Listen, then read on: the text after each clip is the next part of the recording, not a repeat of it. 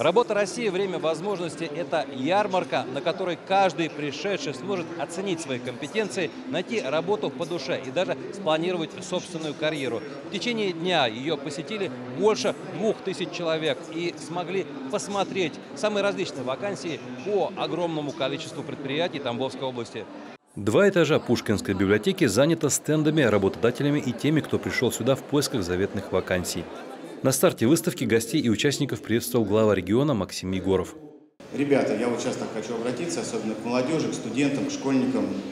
У нас очень большое количество рабочих мест с хорошей заработной платой.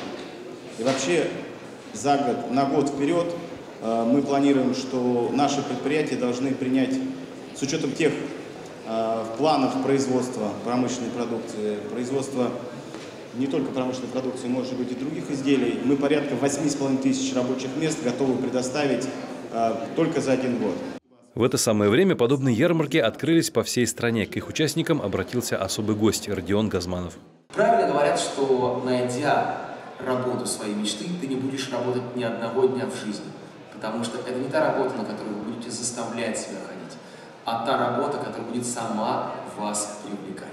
Это очень важно. И этого я желаю каждому из вас. Тут действительно море возможностей. Например, ТГТУ предлагает принять участие в собственном проекте проверки компетенций, чтобы молодежи определиться с будущим местом работы. Вы можете пройти а, различные тестирования, узнать, насколько вы развиты в различных сферах.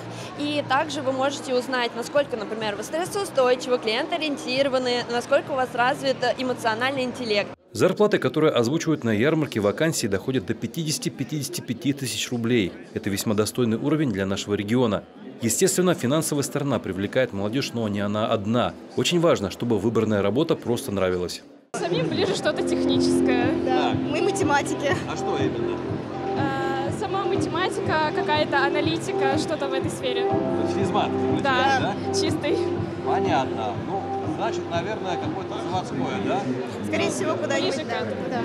Сегодня стартовал первый этап всероссийской ярмарки. В нашем регионе свои вакансии представили 42 промышленных и сельхозпредприятия. Второй, уже федеральный этап, запустит в июне. Для него создадут отдельную страницу портала «Работа России», где представят вакансии работодателей уже со всей страны. Дмитрий Шапкин, Евгений Михеев, Александр Кобзарев. Область новостей.